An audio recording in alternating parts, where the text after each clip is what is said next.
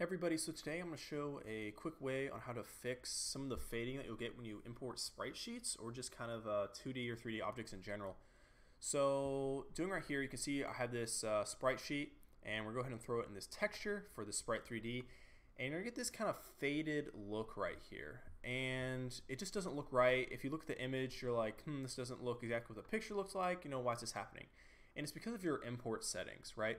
So what we're going to do is go over to import and click on the you know the, the thing that you're importing right here. So in this case, it says Minotaur Sprite Sheet, and we're gonna kind of run through these settings real quick. I'm gonna show you how to fix this so that it looks better.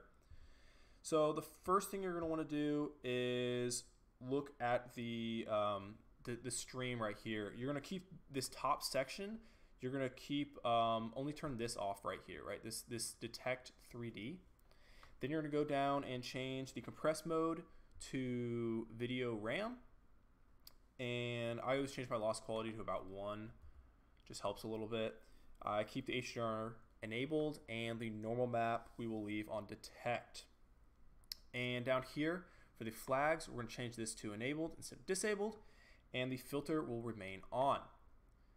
And then looking down at these last couple settings, the only thing we're going to change here is the standard uh, RGB values. We're going to enable them, and that should be it.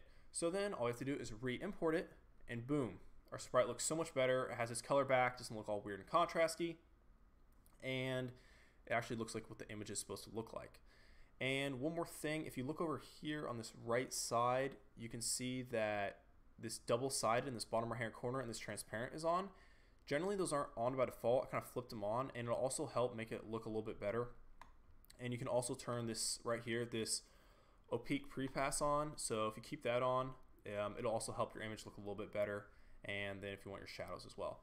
So that's really it for this video. I just want to show a simple way to fix this because I know a lot of people, especially on the forums, are always asking how to do this. And it's real simple. You just change these couple settings and you're done.